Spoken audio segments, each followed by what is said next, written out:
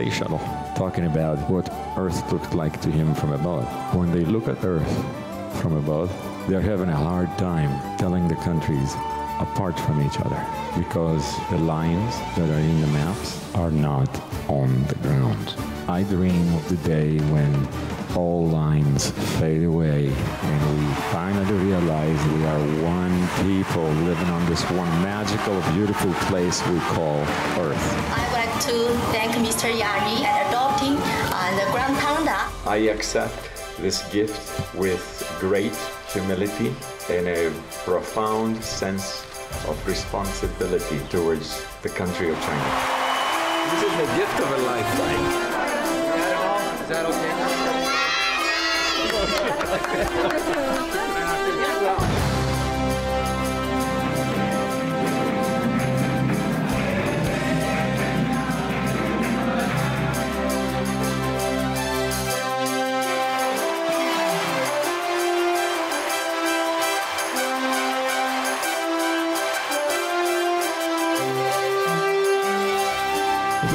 to remember that everything great that has ever happened to humanity has begun as a single thought in someone's mind.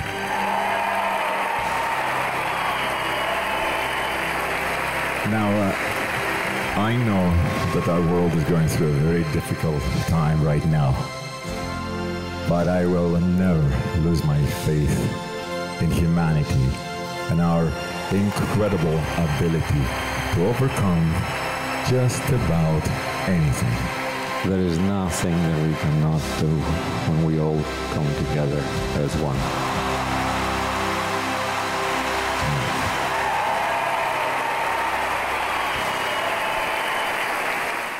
Ladies and gentlemen, please welcome Yanni.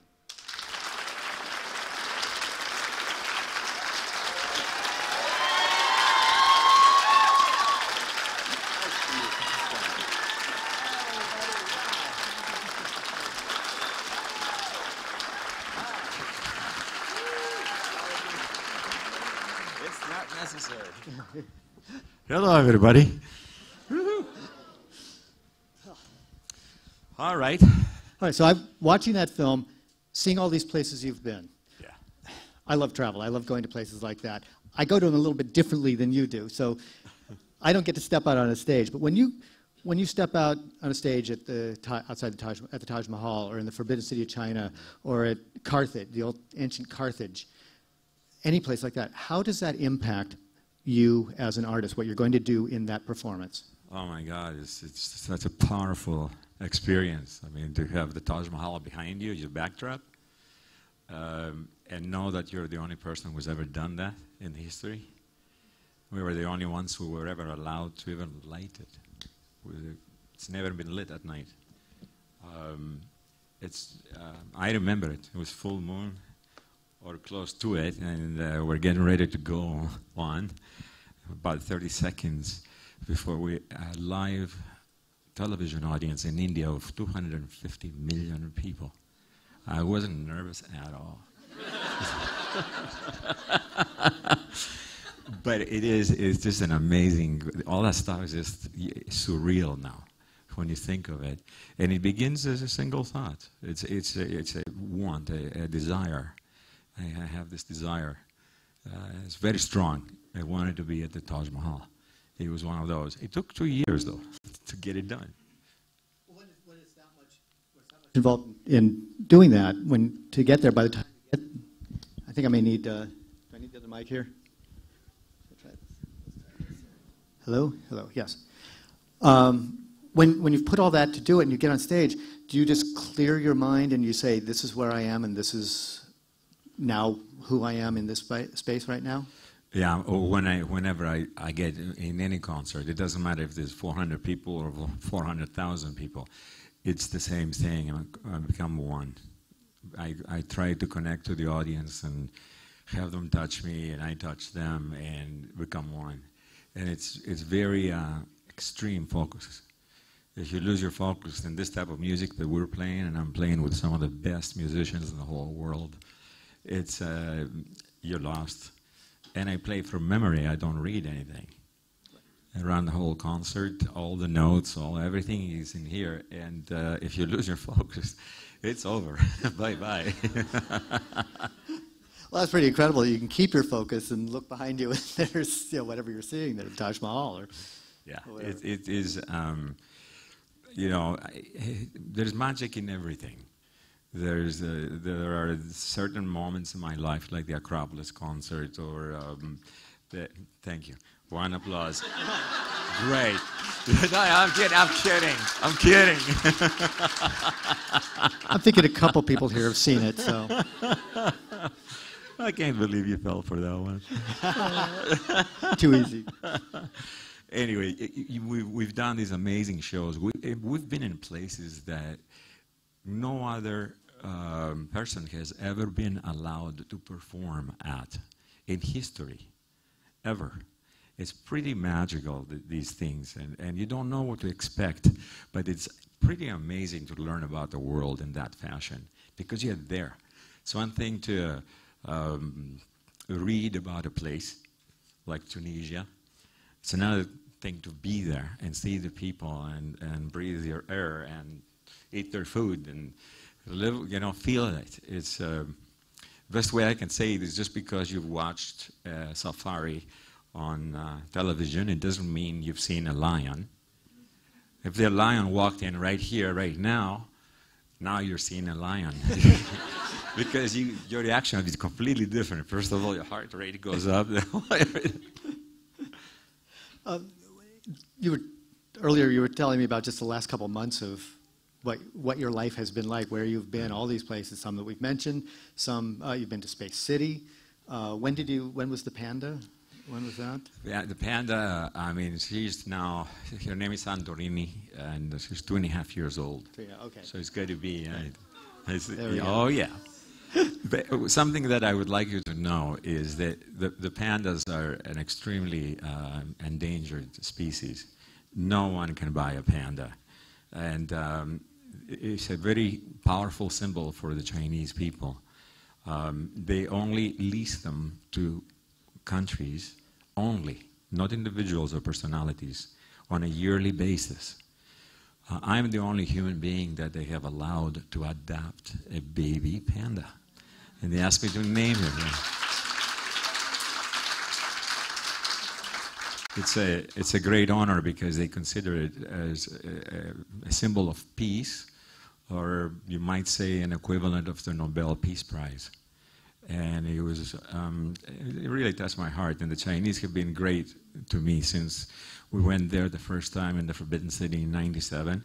And we've been there quite a few times. And they have been extremely honorable. They, all my experiences have been amazing. I have been very fortunate you know, in all the places we've ever been, no exceptions. Um, they, they have honored me. Every time I go to that country, they honor me. They find ways. When, uh, even when my mother came to see me perform at the Forbidden City, they closed it down so that she could go by herself and walk through it. And it's a, it's a long thing to do. And back then, my mother was ailing and she wasn't walking very well. And it was, it was an amazing, you know, it really touched me very much. Well, I mean, just when you had things like that, and just in the past couple months, you've had some incredibly profound experiences, one of a kind experiences. As a creative person, as an artist, how does all that sort of thing? I mean, again, your, your career has been a, a series of profound experiences. How does that feed into your creative process, into your art? How do, these things aren't just things you experience and move on from. They're, they, they must become part of you as an artist. Yeah, that's the fuel right there. You put it right in the most important uh, part. It's, it's life, you know, you live life, then you have something to talk about. It changes you. All these experiences, you never get to go and see and do these things and come out unchanged. You can't just go to India and uh, you think you're going to walk out of there unchanged. It changed your life forever. You see so many things. It's, it's the second largest city, uh, I mean, country in the world. China, the same thing. Um, Russia, We've been all over South America. In- I cannot even East, Western Europe, uh, America, Canada, uh, Brazil, and many, many cities in Brazil, and, and Argentina, and Chile, and keep going. Um, all these cultures affect you. They touch you. They, they- you get surprised a lot of times. We've been in the Middle East too, many places in the Middle East. Um, and it's fuel for creativity. It's fuel for writing music. I, it's, it's my, I feel it's my responsibility to communicate the knowledge that I've accumulated, um, I consider it a gift. I mean, I could never imagine as a kid that something like that would be happening to me. It's pretty amazing. That actually uh, feeds into a question that we've gotten from, from one of your fans uh, watching this uh, live. And this is from Christine from Utah. And, uh, she asks Being a creative soul, is your mind constantly working? Are you able to quiet your mind? And if so, how? That's a great question. Yeah, it, it is difficult to learn how to quiet, quiet your mind down. So, um, took me years. And um, I, I love talking about creativity, uh, and, and really, it's a frame of mind. It's a, it's a place of surrender. Creativity, I have said this before, creativity is an inherent human quality of the highest order. We all have it. We all have the ability. We may not have uh, the understanding of how it functions inside us or how to bring it out or about. Uh, and it works the same for writers. You know, there's nothing worse for a writer to be standing there with a blank piece of paper. What's the first word that you're going to write? Or for me, what's the first sound? What's the first note? And it's a, a- you completely surrender and you become one. At least I do. I become one with the music. And I don't have to play the piano to write music. I just hear it. It comes. I go into the black. All, everything that I don't know, all the music that I'm going to write from now on and forever, it's in the black. It's in the unknown. So I befriend the unknown, and I stand there and I open my heart to it, and it comes. And you, must not judge it. Judgment and creativity are opposites, they cannot exist together. Because as soon as you judge what's coming in, you're outside looking at yourself, and the creative moment has just ended. So you're looking for the next note, and it's not there. And then I get to sit around for another week trying to manufacture a song, and I couldn't do it. And I'm talking when I was in my early 20s learning this. Now, about 30 years later, um, I didn't want to say that part. I get to go there, it's much easier, and I get to stay there for long periods of time. But it, you might call it being in the zone. It's just a complete surrender. That's it. A lot of what you do is an individual, it is a solo uh, process, but much of what you do, and perhaps recently even more of what you do, has been collaborative. Your, your latest album, Inspirato, is a very collaborative album in, a way, in ways you really haven't done before. Could you talk a little bit about the process of doing that and some of the special people you worked with and what your was there a letting go process in doing that and letting having these wonderful people do their part? Yeah, it's really interesting. Uh, you, you're talking about Inspirato, correct? Yes. Um, yeah, that was an amazing process. Actually, I was working with the best vocalists on the whole planet, so really they don't need a lot of direction. In fact, I heard at the beginning they were talking about Placido Domingo. I was just with him at my hotel uh, about an hour and a half ago. I came downstairs and we, we had to talk for a little bit. And he was going for his rehearsal. Tomorrow he's got his uh, premiere about a mile away from Nokia, where I'm going to be playing at the same time. It's a small world. You two should Skype during it. yeah, I wish I. We, yeah, we talked about it. That would be fun. Um, it- a lot of times I, I run, uh, we run across each other. Like um, you showed some pictures early, earlier from Oman.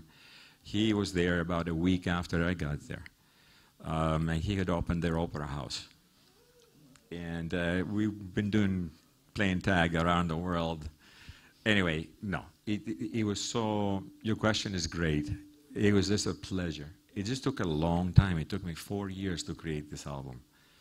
Because um, these music, these, these vocalists are the best in the world. Renee Fleming, for example.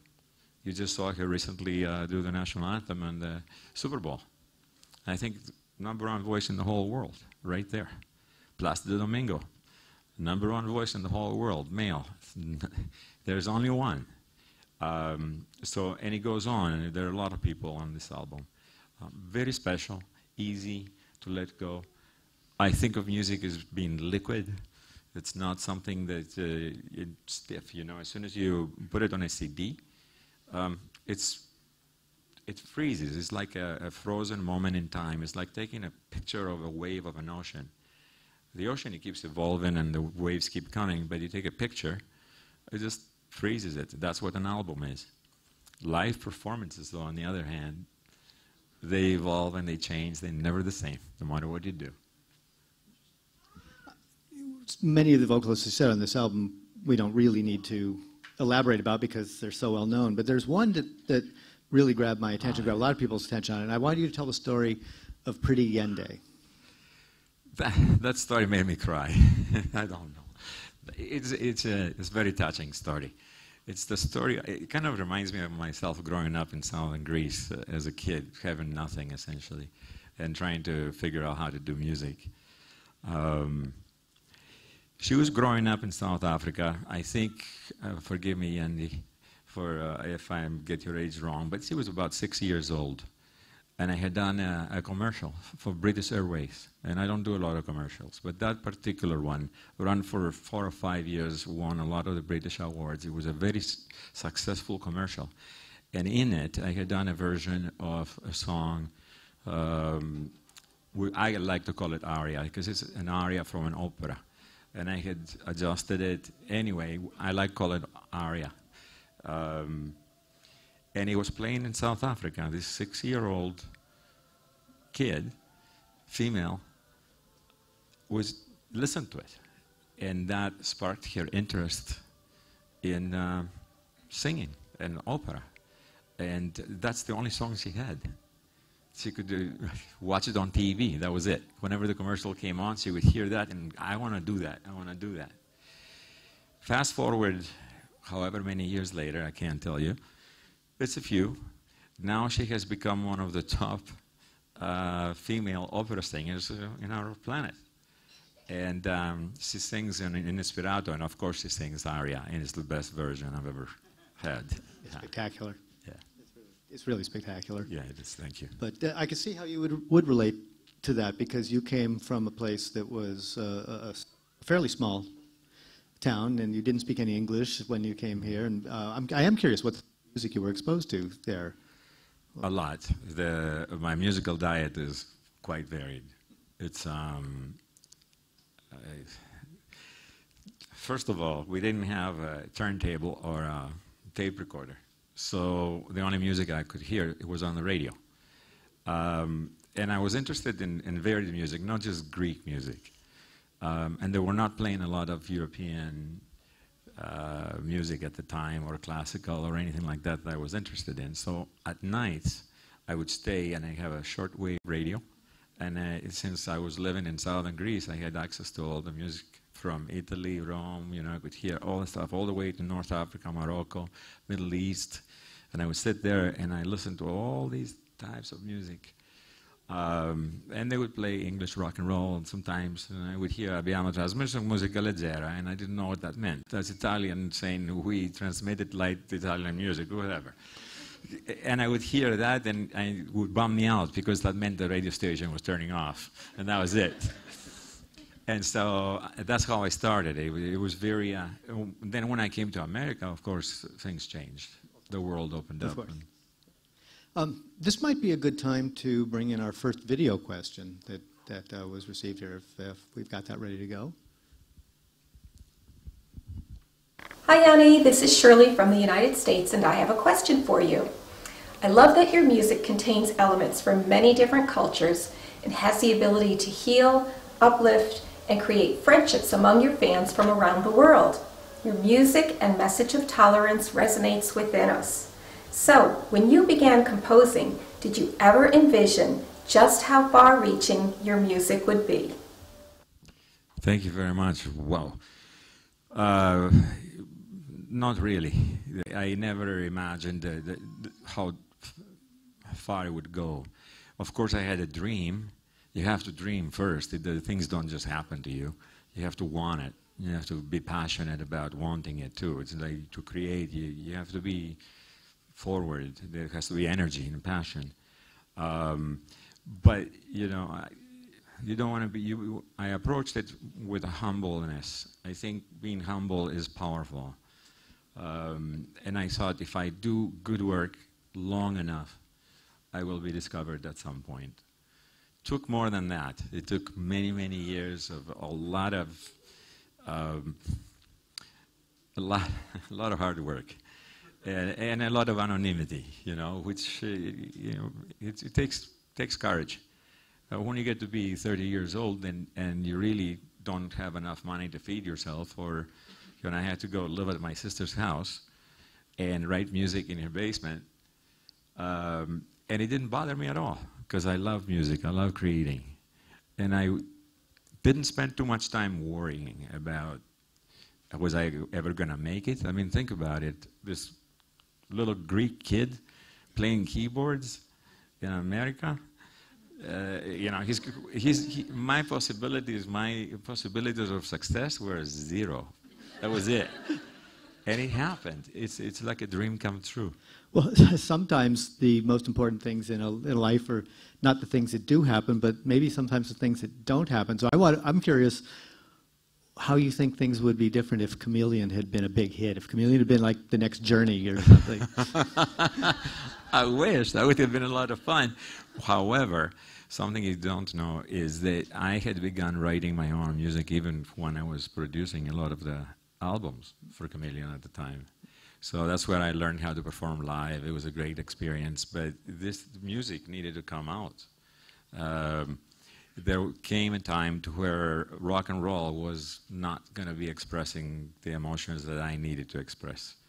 Um, it wasn't diverse enough. Maybe sometimes you get a little too aggressive. Um, and as you get older, you change, right? And as you change, what you create changes with you. So it would have been a parallel uh, career perhaps for a little bit, but do you think you would have still ended up how you ended up with if, if, if Chameleon had, had really been a big international hit? Well, it's, you know, it's hypothetical. You know, you change one small little thing in your life and you change your entire life. You know, we're talking about, I can't answer the question. Right. I mean, it would have been amazing. We wanted to we wanted to succeed beyond the Midwest that we, we were successful at. Um, it never happened. I left, and um, six months later, I got signed as a solo artist, and that's how my career got started. I got lucky again. See, it's like no fear. And then I came out to Los Angeles. That was another big leap of faith. Um, and again, my chances of success were zero. Don't forget that. right. Yeah. Well, now talking about things that uh, that maybe not in one's control, we have another question here that I'd like to ask okay. from from uh, that, that sent in. This is from Heidi from Mexico. Heidi asks, "How did you feel when the power failed at the concert in Izamal, Izamal, Mexico? Remember how all the people started singing a cappella with you?" Oh, God, I forgot about that. well, it's life, folks. You know, sometimes things don't work. The, your power goes out, some, something quits, some keyboard overheats, and then it won't play. And yeah, we lost power in front, and it was awesome. It was so beautiful. it was. It just happened. This concert. It was pretty recent, um, and the audience was so phenomenal. They, you know, you tend to think five minutes is a long time, right? In the middle of a concert, actually towards the end it happened, if I'm not mistaken. Um, that they would be disappointed or upset about, no, they started singing, doing the wave, the whole thing. Is, they entertained themselves. It ended up great. The moral of the story is that, you know, live is unpredictable. You're out of control. You know, it's not the studio. You can't rewind and re-record it and fix it. Um, and that's the beauty of it. And, uh, you know, to all those people out there who are live performers or dreaming of becoming live music performers or whatever, it's like the audience is there to support you. They're not there against you. They're with you. They want to see you succeed. So you relax, and you know, the power came. Of course, I was praying a lot. it was great. I mean, on on that note, you've played some places in the uh, recent past where you wouldn't necessarily think that people were that familiar with your, your music, where they, you know, maybe your records hadn't been a big big process. You'd never been to South America, I believe, until you went to Brazil. Is that correct? Yes. In Tunisia. How do you, you know, you can't. Never. What record sales there? Yeah. I don't think we've ever sold one record in Tunisia. I think they all get it from uh, YouTube. But they, they, they know all the songs. They But knew they- all the songs. How, how was? I mean, did you expect that when you walk out and people are, know all the songs and clearly? No. Yeah. It was Tunisia. I got to tell you something. This, this is a hard dagger. A lot of us took a couple of weeks to get over it. It really touched our hearts. We went there when the country was in mourning. They had had a horrible incident. A few people got killed. And so the whole country was in mourning. And they continued, they opened their festival with me. Um, I had a choice. I could cancel or go, and I chose to go. And they were asking me, weren't you afraid to go? No. This is what we are about. We went there. The concert would start at 10:30 at night. We had something like 27,000 people came, um, and they made us cry. They started chanting Yanni, Yanni, Yanni from six o'clock in the afternoon. And I'm sitting in my dressing room listening to all these people going crazy four and a half, five hours before the concert was going to even start. And I'm thinking, they're going to get tired. By the time I go on stage, they're going to go, forget it, forget it. They were so lovely. They touched our hearts. And my, you know, I don't know how to explain this. You have to be there again.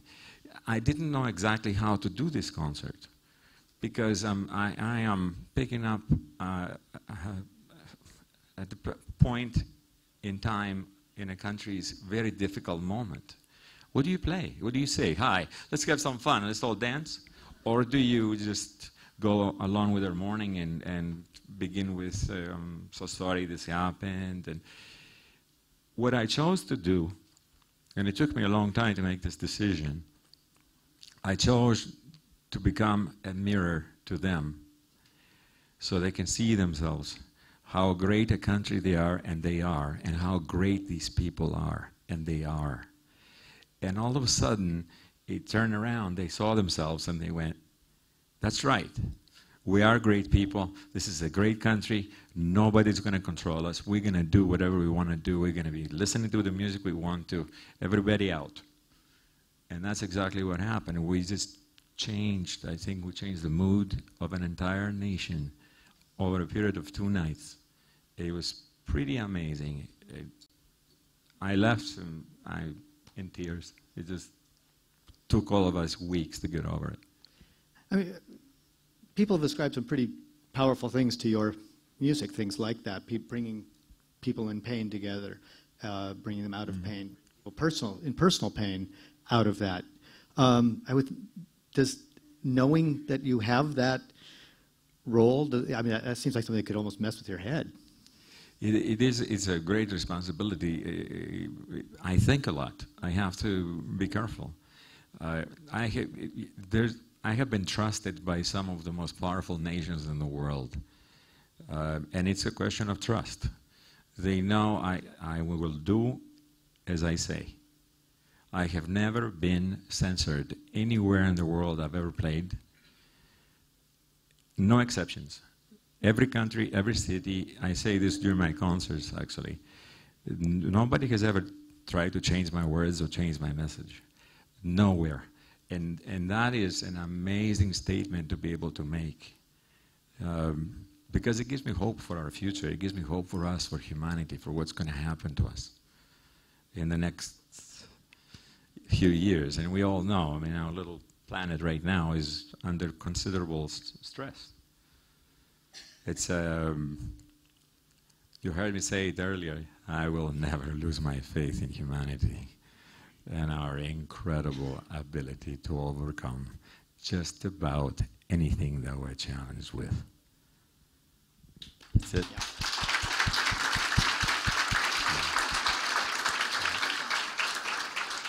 And maybe that's a good time for another video question from, uh, from one of your fans. Hello, Yanni. I'm Naor. I'm from Israel. I'm a fan for about 10 years, I think. And uh, as a musician, I would like to ask you how do you come up with your themes and melodies and how you orchestrate it into the orchestration?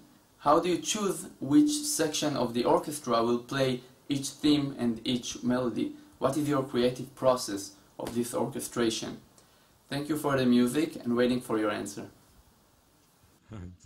That's a very complicated question. That's a great question. Thank you. Uh, it's uh, you know it's actually quite simple uh, because I write music in my mind. I I don't I don't I don't accidentally I don't go on the piano and start playing and stumble across the melody and then try to make a song out of it. It's remember what I told you earlier about the creative process. It comes to you and it comes to you all at once. You know the whole thing you know, how, how do you start a concert? What's the first thing you're going to hear? What's the first note? Um, once you know what the emotion is, the music comes. It's, it's, it's there. I've been doing it for so long. As far as deciding how the orchestrations go, which part of the orchestra is going to play what, and it's not uh, so easily ex uh, explainable but it's not uh, very difficult either. It becomes very obvious. You know, if it's going to be a plucked sound, or if it's going to be a French horn sound, if you want something deep, it's going to be a trombone, or maybe a synthesizer gone down here, or if you want the drums, you want the flute, you want, if you pretend, we, we, did a song in China when we played in the Forbidden City called Nightingale. And it, I was inspired by a nightingale, a bird, nightingale, which has the most beautiful voice of any other bird in the world. I was in Venice, Italy at the time, if you can imagine that. And this bird kept coming outside my window and was, it was doing all this. And they, they're amazing if you've heard these birds. They make, they put all the other birds to shame. and it, this bird, I don't know, male, female, uh, it was uh, singing certain melodies that were recognizable. I was there for five or six days. I kept hearing three or four melodies that were absolute, exact, good pitch, everything perfect. So I just realized that the Chinese flute on the high registers has the same sound as a nightingale. So I called my flutist, who is probably the best in the world, Pedro Eustache. Uh, yeah. and I. I said, You're going to think I'm crazy, but can you do the bird? Anyway, we played around with it, and it ended up uh, writing the song Nightingale, which we love it. We love that song, it's beautiful. Do you ever just want to get together with some guys and jam? Oh, we did that all the time when we were kids. I'm sure. Yeah. It was a mess.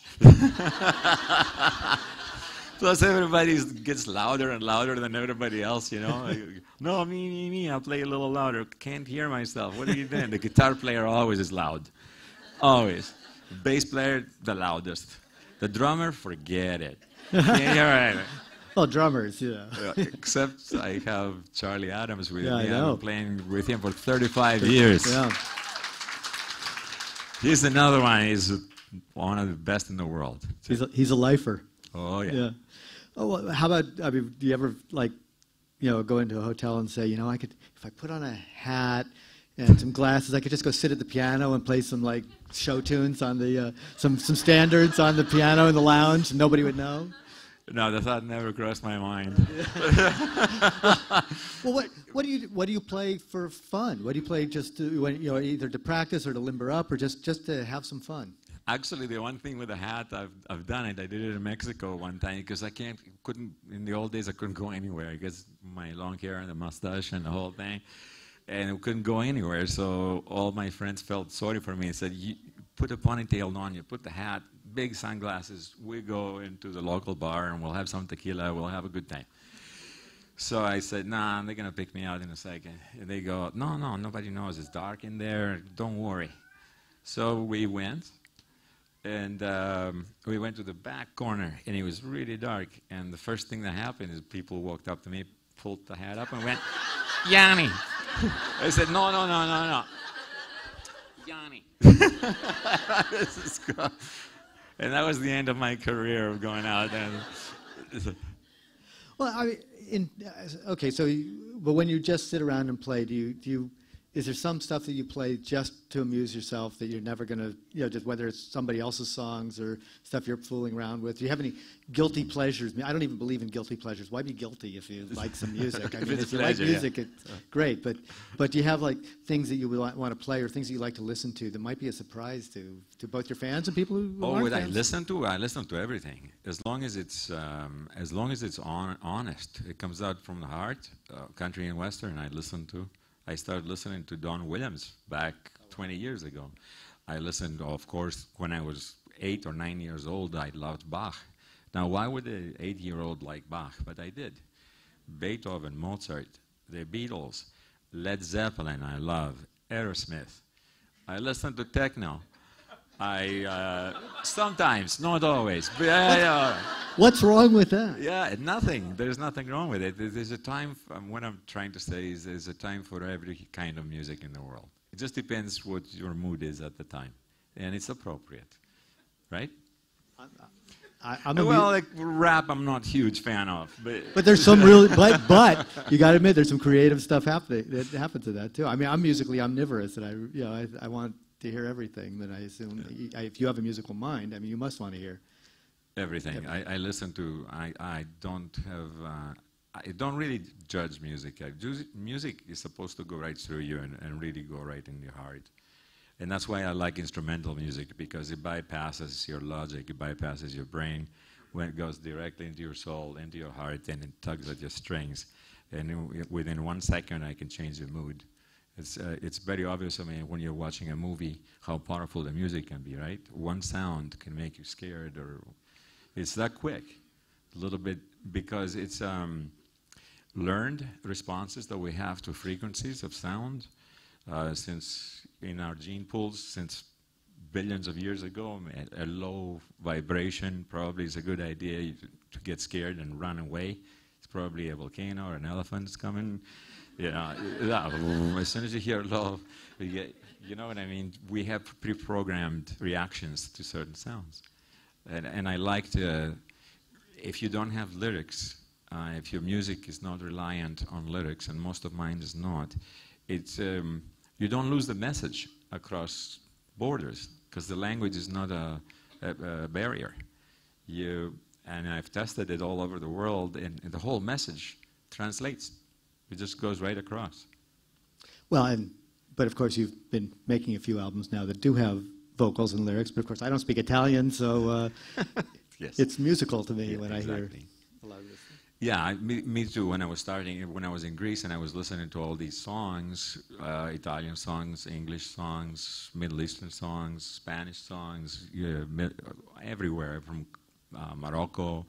You know, I didn't understand the language at all, but I, I did get a lot of the message. I understood the melody. I listened to it as just musical.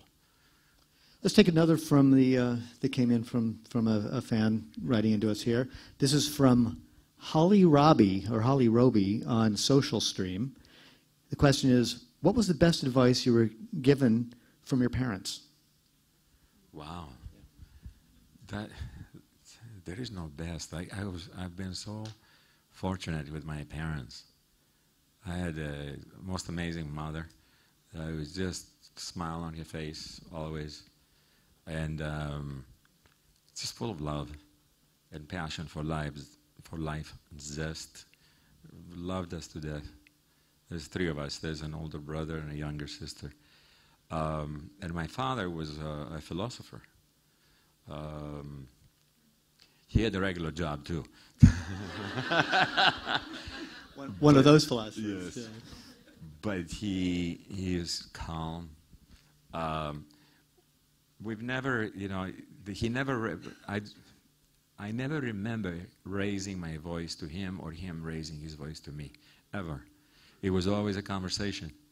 And it was so intelligent, this man, and he was so studied. He spoke five languages, self taught, been through World War II and the Civil War in Greece after that. So he's been through a war for 10 years. So people getting killed, so all the ugliness in the world that you could see. And he became this gentle, amazing human being that, you know, it's, it's uh, stunning, stunning to me when once in a while he would open up at nights and describe some of the things he's experienced in his life. How gentle and how peaceful a human being he was. So, with a father like that and a mother like that, I have no excuses. I had no excuses. I had to do something really good. Something really extraordinary, I'd say. Yeah, well, thank you. But I can't say that. You can say that. I think they might, uh, they might say that too. Um, maybe we should take another uh, the video questions as well. And uh, if we have that. Hi, Yanni. My name is Arnold, and I'm from Puerto Rico. You have been a very important part in our lives, and we thank you for that. We consider you as one of the best composers in history. The question we have for you is what type of an influence have we been in your life as friends and as fans?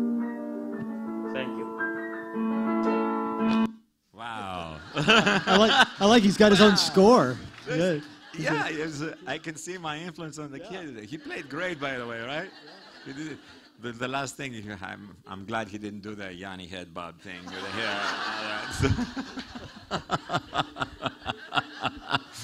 They're like, leave it to the Puerto Rican people to be emotional and passionate. They're amazing. We've been on the island many, many times, and I love them, and they, they love us back. It's um, the fans have been amazing, and it's been extremely important for me. And I'm not just saying that to be kind. Or, um, even there was a time in my life, I'm going to make it short, that I, I got lost. I, I went through a, a depression. Um, I talk about it in my book a few years ago.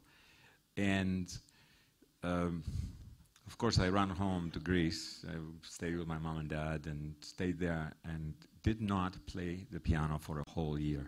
Did not touch it. I just wanted to know that I could be a normal human being, that there was a Yanni without the music. Um, and it took about a year before I got back into it.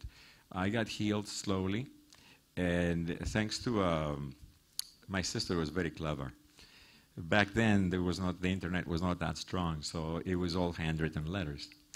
So she sent me a stack of fan letters, and that was the turning point. I started reading them, and then I started crying, and something burst inside me. I just realized that I had meaning to people out there that I I meant something.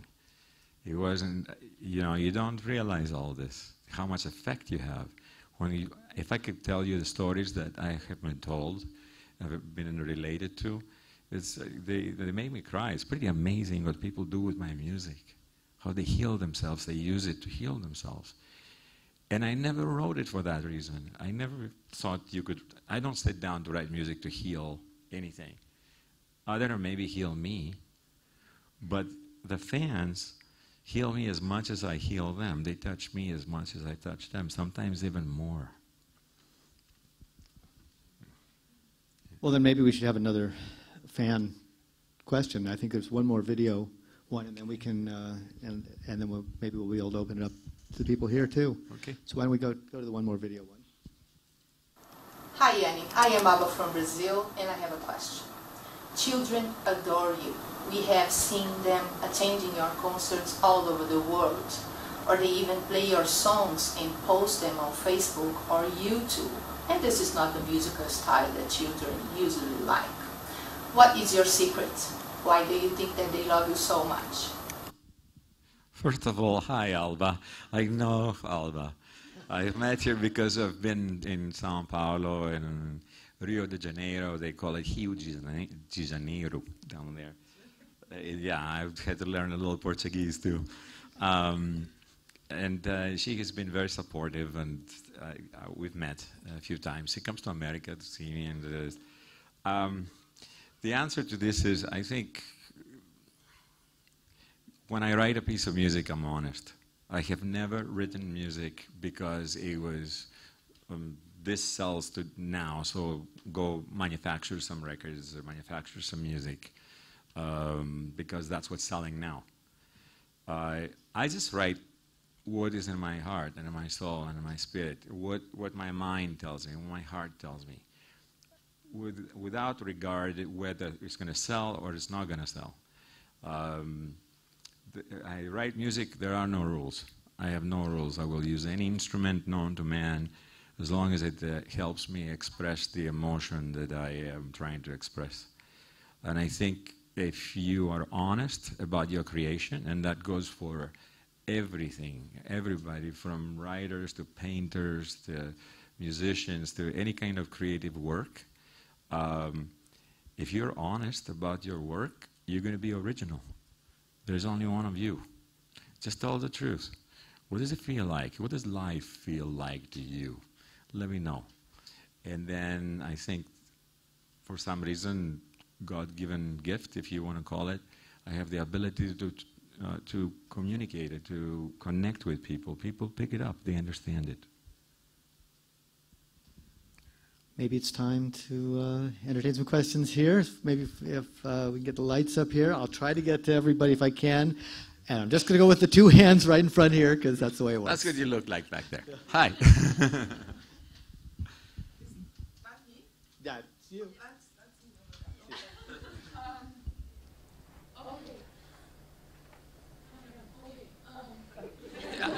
Hold on, hold on, hold on.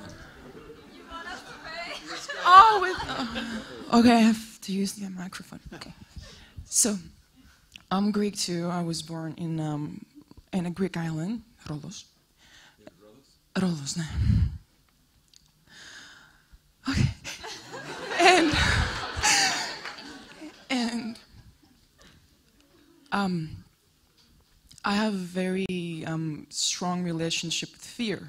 It's very difficult for me to handle it. And um, you I don't want to sound dramatic, but when I listen to your music, I feel like I'm getting an idea of what it feels like not to be a prisoner of, of that horrible um, feeling. So I was wondering what, because you're such a great human and, and positive and, and really, really a beautiful human. And I was wondering what, what do you do or, or what happened or what gives you that force that really drives you and write this divine music that really, really affects all the people. Uh, wow.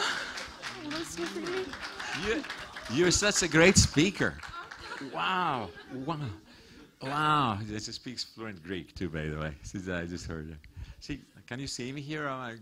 I'm okay. Go back to my chair. Okay. I like you. What you said is. Stephanie. Stephanie, Stephanie. yeah. It, it is, uh, you just touched my heart. Is that, that's exactly what I hear that, and it makes me cry. That, that, that you can do this, that when you, you hear the music, it just gives you um, some relief or some faith in yourself. I, um, you know, we're not going to do a psychiatric evaluation right now, but it, the fact that I that I can touch you like that is, I don't know, it's pretty amazing. What heals me, you. Just what you said. With hearing you telling me that, it it comes right back. I have never given out that it hasn't come back. It always does. Just you have to do it. I know it sounds maybe Pollyannish, what I just said, but it's the truth for me. And uh, you're a great speaker. Just, yeah, you are. You just, I heard you, right? Give it a round of applause. Absolutely. Do, do you, Absolutely. do you ever get I mean, some, some of the biggest performers in the world get stage fright. Do you ever get stage fright? Do you get butterflies before you go out? Do you get nervous? No. nah. Who, me? Yeah. no, yeah. no, no. If you don't get butterflies before you go on stage, you shouldn't be going on stage.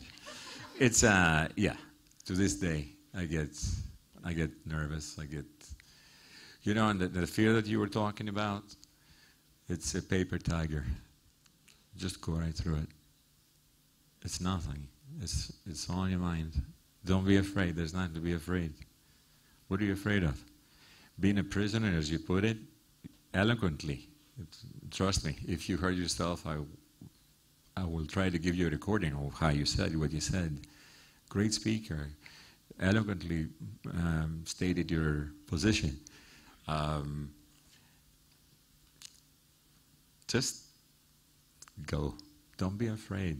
It's just shackles. It's just, you know, when I set out to go to um, places, I don't want to mention the names of the countries, I didn't know what I was going to find there. I didn't know. And when I started um, playing music, when I became 30 and 32, and I was still not being recognized, you think maybe I felt fear? That's when most of the bands quit and become insurance salesmen or, you know. uh, but they still jam. They have fun. They jam. Yeah. All right, let's uh, try to get to as many as we can here. I'm going to go to the back here, the gentleman in the, the person in the hat there. I can't quite see. Yes. I can't get all the way. Yes. Microphone? Well, I, we can repeat the question. You don't necessarily touch me as much as she does.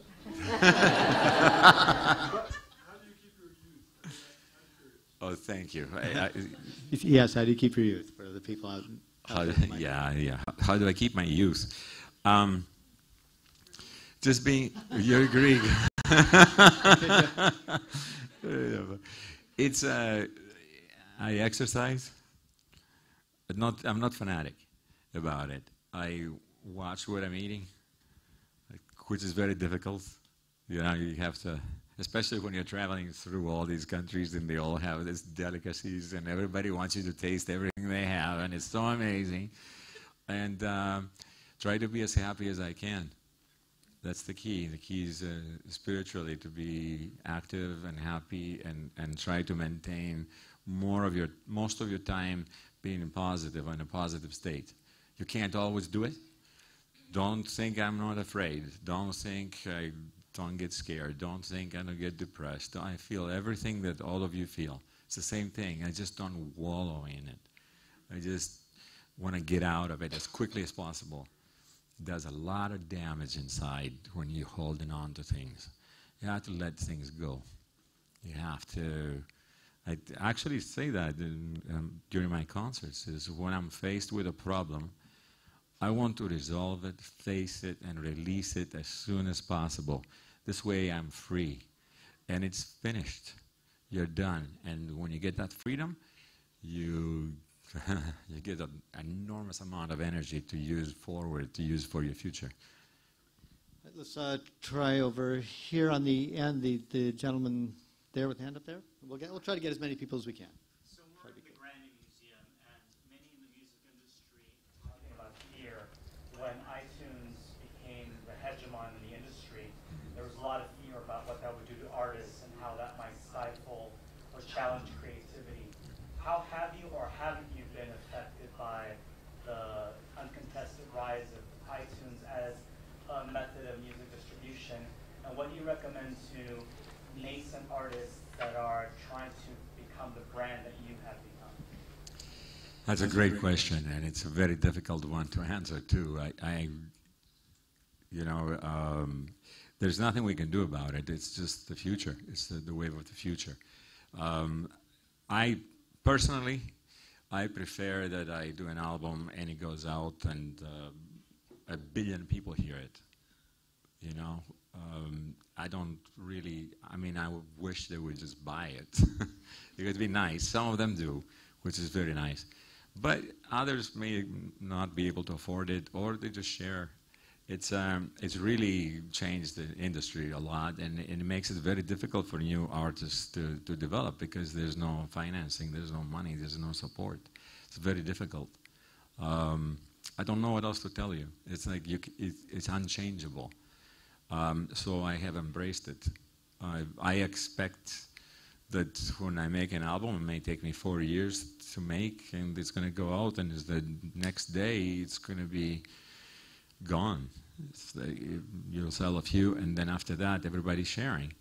But I don't mind going into the backwoods of, of um, China somewhere, and all of a sudden I'm hearing my music, and I'm watching uh, figure skaters um, training to my music, and they fans walk up to me with CDs that I've never seen that say Yanni on it, and they. and they- True story. and they ask me to autograph them, and I go, oh, nice. I autograph it, and I go, which one is this one?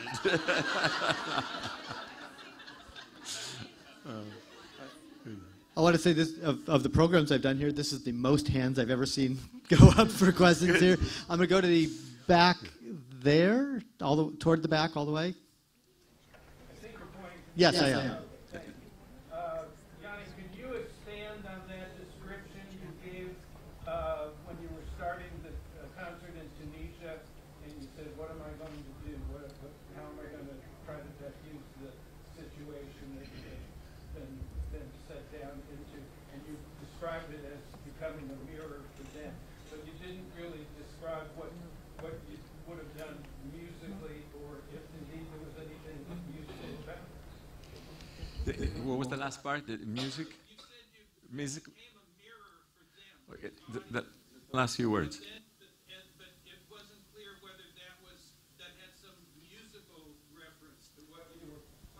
Ah, of course. Did, right? Did it come out through the music you were playing? Was it reflected course, in that? yeah, Of course. Of course. Great question, by the way. I'm sorry a lot of people are not going to hear it. Uh, we're supposed to have a microphone passed around. That's a great question. Um, yeah, I took into account what I said, how I said it, how we played, uh, what we sounded like. Um, we're very affected by what was going on. I, all of us, all the musicians. Um, it's one of the probably more most one of the most dramatic experiences in my life going to that country, and it's changed me forever. And they're very savvy in the social media in Tunisia. That's where the Arab Spring started, right? You remember that one? They they're very strong people, and I went there. And if you don't see them, and if you don't talk to them, you people I was talking to, they thought Tunisia was part of Europe. They didn't know it was in Africa. It's North Africa. So, and, and they're amazing people. And they stood up. They knew every song. That every song that they played, they knew it. They would chant. They would, it was probably one of the best audiences I've ever seen. Um, I've experienced. Um, again, I told you, it was like it took us a long time. It made me cry. we couldn't sleep that night to get to the hotel, and you, you, and I wasn't sure that I was making the right decision to to play that kind of music. But there's, I have, I guess, I have so many fans there. As the next time we're going to play the stadium, it's going to be you know, they're already start talking about it. It's um, we're going back. It's it's an amazing experience. I want to go. I want to be there. Okay, you're on. So let's go up front here. The woman in the green hat there. Oh, we're gonna we're gonna bring a mic around here. So Oh, we're gonna microphone. Do this now. Good. I can get the front. It's no problem. I Hi, Yanni. It's good to see you again. You probably know I've been nagging you for years about Egypt. Oh yeah. And I wondered if you are ever, I mean, you are the perfect person to perform there. I've been to one concert there, by, you probably know who it was, but uh, I can't imagine that's the one country I would love to see you perform there. Ah, Is it you. possible? I, of course, it is possible. We came very close. Uh-huh. We came very close to Really? getting it done. Oh yeah, a couple of years ago, but the situation is not quite right. Okay. And we had so many fans in Egypt. Yes, it's it's a ma- just a matter of time. I think we're very close. It's going to happen, and it's going to be huge there. I Oh, can't gotta wait be to there. come. Yes. Thank you. Thank you for the question. Um, right in the middle with the glasses there. Yanni, the 20-year burning question. Oh boy. wait, wait, wait, wait. Do I need to brace myself? What's going on Yes. here? And I use this term loosely as a former rocker, because I've seen you run out in leathers. That was so cool. oh, you want you've seen leather pants? Don't say Oh, that. No, you oh, don't forget it. No, just oh. like, uh, It I liked so it. It was fine. It was fine. I would like to know what your feelings were about Elvis Presley. I loved him. I loved him. They're great. It's, it's, it's tragic, his life and how he got lost. It's horrible, but it happens to a lot of great talent. They just don't understand what's happening to them. They can't deal with it. They don't figure it out, and they think they just keep postponing and postponing, and we lose them. I love. I mean, I loved him when I was a kid in Greece growing up. That was Elvis. I mean, that was it. Yeah? Thank you. That's why I wear leather pants. why, don't- why don't you just uh, hand it to the woman right next to you there in the white there? We'll make it very Hi, Yanni. Hi. Um, so glad to see you again. My question is when you come out on stage, you sit down at the piano, before you play your first note, what are the thoughts going through your mind? I've already focused so much before I um, walk on that stage. I'm, I'm alone in my dressing room for at least an hour. I get to shut everything out. If, I have problems, everything else has to go away. I have to know where I'm at. Don't forget the city I'm in.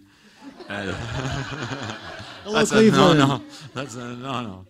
There's a- Never mind, I don't remember the hotel we're staying at or the floor we're on. Forget the room number.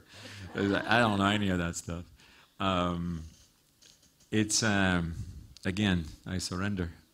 It's part of the, the whole thing. I just give, it's 100% or nothing. So I was, it's like the creative process. You're either on full time. I try to do it where you just do it casually and it's not so, you know, you don't have to work so hard and it doesn't work. It's you're on. It's 100% of yourself. You give it to the audience and they feel it and they connect with you right back and it creates this vortex that elevates. And by the end of the night, it's a whole other situation and it's everywhere we've been, everywhere in the world, it's the same. It's the same. It just every concert is a little different, but it ends the same. Um, I just wanted to follow up. You, you said that um, every time you come out, you are nervous. Um, now, does that go away after you play your first song? Oh, that's where you were going with this. Um, the, the the nervousness that I have is, is, is, is a, it's an excitement. It's not fear. Uh, it used to be fear. when I was starting out, yeah, I forgive that. Uh, now it's a, it gives you a shot of adrenaline. You're just all of a sudden you get very energetic, and when you're on stage, time slows down. It's like you're moving much faster than the audience. I've seen recordings of me making mistakes or something going wrong, and I saw it. Two minutes went by, and it was really 15 seconds. It's like the Matrix kind of thing. it is true. This is true because your heart rate goes up, so all of a sudden you're just moving at a higher speed than everybody else, which is very useful if you're playing live because you can cover up your mistakes, which you're gonna make. You never saw me make a mistake because I was going fast. Okay, the, why don't we, I'm, I'm going to make you run all over the place here. No, no, but just the gentleman, right, the gentleman right there is fine to start with, and then we'll go I back love to the this. next Keep one. going. First of all, I want you to know that I've bought every DVD and CD you ever produced from Amazon. Thank you. A few years ago, I read that, you know, as good as you were, that you don't actually read or write music. And you said some things tonight that you don't. And ever since then, I've been totally confused at how you can produce all this stuff without reading and writing music. Yeah. So the other quick question I'd like to ask is, if there's some way you could ever put these two really beautiful performances at the Taj Mahal and also Acropolis in the Blu-ray. In a Blu-ray? Yeah. Um, they were recorded on PAL, Actually, it's uh, the European system. The, the high definition was never uh, invented yet. Uh, but PAL is pretty close to high def. It was the European version of television. It's much, much higher quality. It's quite beautiful. Uh, yeah, thank you. But you know, Elvis, uh, they've got some Elvis, old Elvis concerts that have been, that have been converted to I want to answer your first question, which I've forgotten already. Because uh, if, if you can. Do you or do you not read and write Oh, music? right. There you go. Thank you. Well, you have your own Yeah. system, It's, yeah, it is. It- it- First of all, what you have to realize is that uh, music lies in the auditory system, right? It's not visual. When you translate any piece of sound onto a piece of paper with some black dots on some lines, whichever way you want to do it, um, you'll be lucky if you get 50 or 60 percent written down on the paper. I know that because now you don't need to write anything down. I just record it. And then I give it to people. I, the computer already knows all the notes I've just played. It spits it out, and it's written on a piece of paper. It's not perfect. And then they correct whatever errors the computer made. Um, and then I have to sit with the musicians and then say, no, not like this, a little more like that, a little more like this, a little more like that. There's a lot of information how you play a song. Yeah, now, when we're hearing uh, an orchestra interpret their version of any Beethoven song, maybe if Beethoven heard it performed like that, he may just turn over in his grave, you know? It's like, we don't know what it sounded like. Just because it's written on a piece of paper, it doesn't mean you get it. When I was a kid, and I was afraid that uh, I would forget something that I thought was a great melody, just hit me. Um, I wrote it down. I, I, I created my own shorthand, musical shorthand. And it looks sort of like hieroglyphics, kind of. It's strange looking. But it's very accurate, and it reminds me um, everything that I was thinking of. And uh, over the years, believe it or not, my musical memory, of course, expanded. So I tend to not forget anything that I have written. It comes back. And if you do that since you're a kid, of course your brain accommodates you, creates more neurons in that area. And does that answer your question? It's not necessary. You're welcome. How, how many more do you think we can do? How, how many more would you like to do? I love this. Keep going until they all leave. I don't care. what else is he going to say, right? Uh, so he's going to make me be the bad guy eventually. Well, so let's. Uh, why don't we take a couple in the back, and then we'll come back up to the front, and then we'll see where we are in time. I think we'll probably. That might do it. Maybe two in the back and two in the front. That may be what we have time for. I think. We'll do what we can. Go. All right. So back there. Yes, that's fine. Yanni, first of all, I'd like to say it's unbelievably amazing to see you. Thank you. um, I am first generation born here, but my family is from Iran. They escaped before revolution. So I saw that a lot of times growing up, I found myself in the house and my parents were playing Yanni. I'd go to my uncle's, I'd go to my family's house, and everyone's serving and they'd be playing Yanni. And I saw that the, your music bridged a gap with me being here and my um, family's culture, which I started eventually um, loving my own music, my, my you know, Iranian music. I want to ask you a specific question because I don't know all your songs are my favorite. Um, I can't really choose one, but what's your favorite song, and what's this? What's the reason behind it that it would be your favorite uh, that you've p- composed? Because it's done so much for me. Well, first of all, I can't overlook your question. It's amazing. I know we have so many Iranian fans. They're they're asking me all the time to do a concert there, and we are going to go there. We're going to go there. Thank you. Yeah, we are. And I mean, we were doing a concert in in uh, Yerevan in Armenia, and uh, a lot of uh, Iranian people got on an airplane from Tehran and flew over, and they were at, the concert in Armenia. Something amazing also happened the, the last time we were at, at Yerevan. Two kids from Tehran got on mountain bikes and they rode 1,200 kilometers through the rain and the cold and the sleet, and they made it at 6 o'clock that night before the show. And I pointed them out to the audience towards the end, and it was the biggest highlight of the whole concert. I was jealous. Amazing. Um, as far as the what's my favorite song, I, I can't pick. I, it's uh, of course I love Felitsa. I mean that's a nice one. It's my mother. It's, it's, they're all.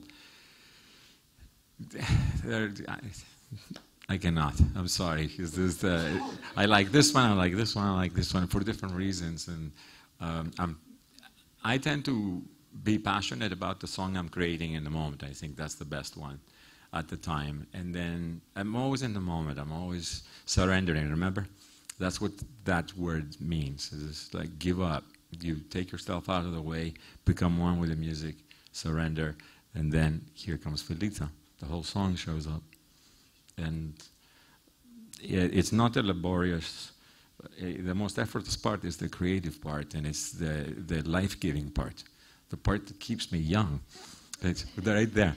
It's the part that, that makes me feel alive. It's like because you're, you're facing the black, you're facing the unknown, and out of the unknown, that's where all the music is. Everything.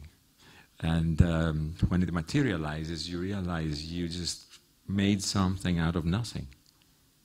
It's very, um, a very powerful feeling to have. Thank you for your question. Why don't you pick just pick somebody back there and? Uh, Hi, uh, I wanted to ask you. Do sorry, do you have a favorite musician? Ah, musician. I love a lot of them. I mean, it's, it's not. Again, see, I'm not big on my best uh, song, favorite musician. It's it's all in the moment. It just depends. You know, what's your, what's the best time in your life? Well, I you know, it depends. It's in the moment.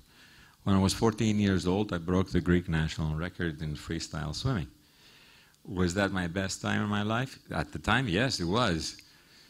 Then I played at the Acropolis. That was my, the best time of my life, too.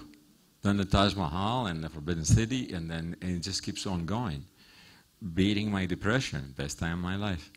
You know, you keep going. It's there's there is no, I cannot choose one. It's it's um, continuum. It's just, it's all happens at once. It sounds a little strange, but okay. A, why we, uh, the woman right here has been uh, very. There. Sure. Thank you so much, Yanni. I'm so just filled with so much joy and gratitude to be here, and thank you for your wisdom and love and music. Um, you said that the ancients spoke to you and led you to the Acropolis where you felt that you touched immortality. And your music speaks to generations mm. and lives as a spiritual monument in the soul of humanity. How does that make you feel? A, thank you for saying that. You know, I grew up in a place called Kalamata, Greece, uh, 30 miles west of Kalamata is Sparta. 30 miles northeast of Kalamata is the ancient Olympia, the first one, the 25 year old stadium that me and my brother got inside started running around. There's so much history where we came from, where I was born. Everywhere you look at the Parthenon, and um, it's stunning that people created these kind of monuments that stood the test of time. So I was thinking when I started writing music, what could I possibly do that would last more than a week? Or maybe a year. People are going to hear a song. A year later, they're going to go, okay, next one. I can't hear this one anymore. Um, and yet, the, the, every artist strives for that. We all strive for to, to create things that stand the test of time all of us, the painters, the writers, the, the, the movie makers, the, whatever art you're into. It's the same thing. And we all go to the same place to be creative, by the way. There's no difference. Everybody has to do the same thing. Creativity is. Anyway, um, back to your. Uh, ultimately, I will never know um, because I can't decide that. You have to decide that, and the ultimate judge is time. And um, I have nothing to do with it. I have to create, be honest, um, give myself 100%, and then the result will speak for itself. You're a global mirror and have shown us uh, how to live. Thank you. Thank you very much. Thank you. Thank you. She said in Greek, uh, from the bottom of my heart, thank you very much for this. This, this is going to be difficult, but we got one time for one. Do we have time for one more? And I, I'm, i apologize to everybody who doesn't. Question, yeah, it's almost like throw the microphone and see who gets. It's like the bouquet, right? I really don't know. I'm going to let. Uh, he's just going to. This is internet, stoic. right? We can cut any. He was fine. Like, the people, they can stay on. We don't care. Well, if, we, if, we, put out the DVD of this, they're yeah. going to copy it and they're going to take. Okay.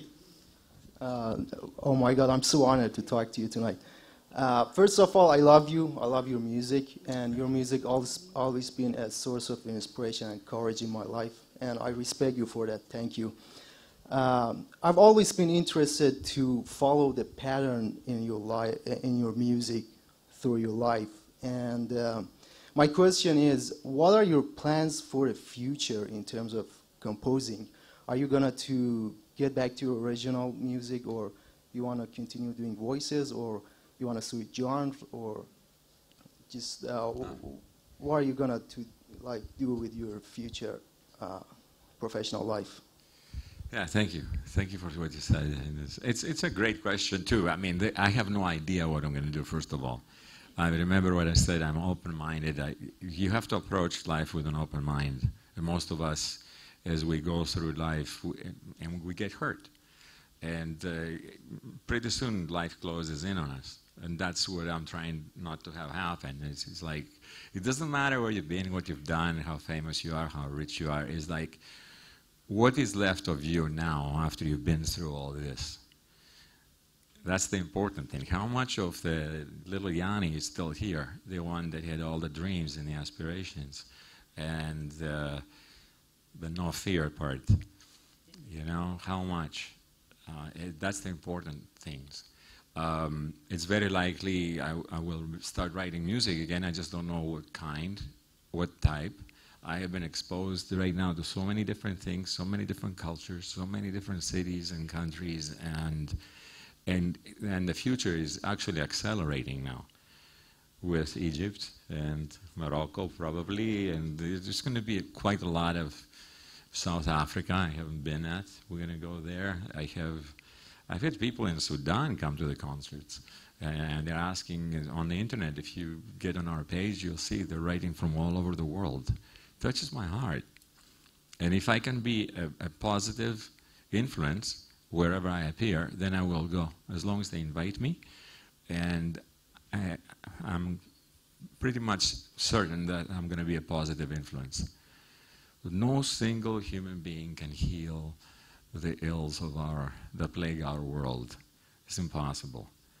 But we can all do our part, and I think that I am doing mine.